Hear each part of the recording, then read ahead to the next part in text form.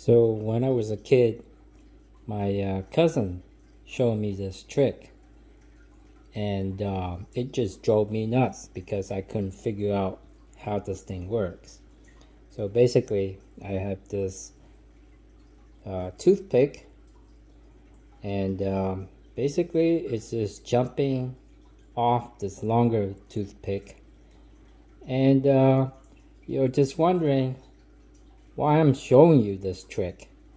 Well, it has a lot to do with the uh, barrel and uh, whiplash and vibration and and uh, standing waves.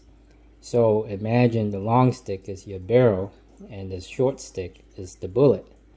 And as you can see, I'm really not moving the barrel at all or the long uh, toothpick.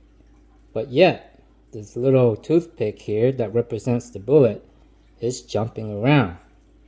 You you're trying to you know, scratch your head and try to figure this thing out, and it's like, wow, what's happening? Why is this little uh, toothpick, in this case, our uh, bullet is just jumping around um, when I'm really not moving anything at all. So, can you really tell like there's vibration in this barrel? I don't think you can see any vibration in this barrel at all, but yet it is jumping around. So how is that possible? Why is this bullet just jumping around? Well, I'm going to show you a secret, and it's very related to what's happening inside the barrel. So what's happening is, with the longer stick, what I'm doing is pushing my fingernail against the stick and then moving it up. And when I'm doing that, it's causing some vibration in the longer stick, right? So that that friction is causing the longer stick to vibrate, which you can't really see. And uh, it's causing this shorter stick to jump around like crazy.